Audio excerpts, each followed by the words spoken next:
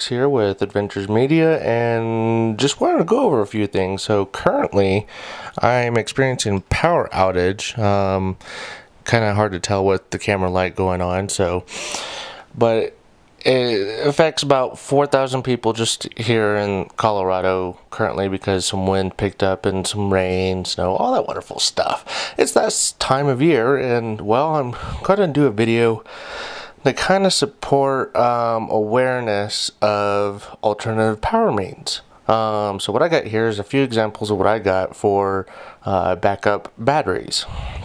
So here I got a, just a real cheap um, there we go. Uh, real cheap um, battery pack that's charging both my work phone and my backup alarm. And then right here, I have a Goal Zero. There we go. Goal Zero battery pack that actually goes with the solar pack. Um, so, but it is USB rechargeable, and also if you have a USB wall outlet, does support recharge through there, but obviously works better with the solar panels. But my new recent addition is this guy right here, um, RAVPower.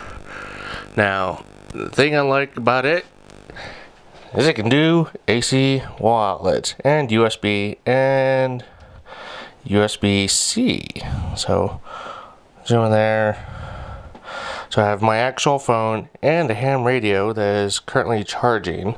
Um, it has on there 60 watts is what it supports, um, but I think it mainly supports up to 50 watts of power output on the AC. Um, I'm trying to remember, but I can't remember. But uh, after charging my phone, um, uh, what, a couple times now, and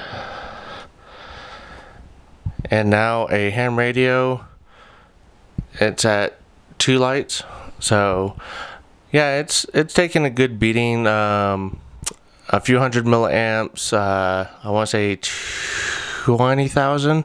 I can't remember. I would have to, I'll put the link in the description for where I got this guy. Um, this guy is my oldest battery pack that I have.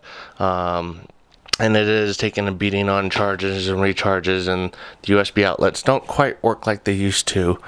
So, but here's just some things to think about during a power outage, like what I'm going through right now and having to keep communication up and going.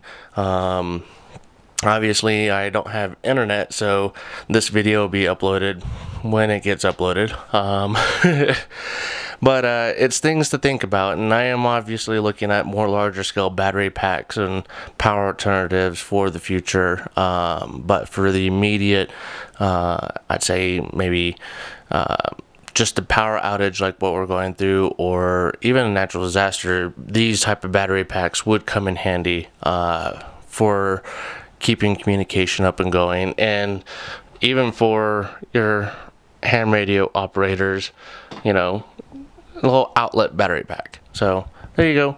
Hope you guys enjoy uh, a little bit of awareness. Later